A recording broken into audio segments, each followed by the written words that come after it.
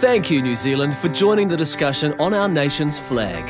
After over 10,000 flag designs suggested, 850,000 visits to our websites, 1.1 million people reached by social media, 9,500 kilometres travelled to workshops, and 43,000 of you sharing what you stand for, the Independent Flag Consideration Panel is now reviewing alternative flag designs.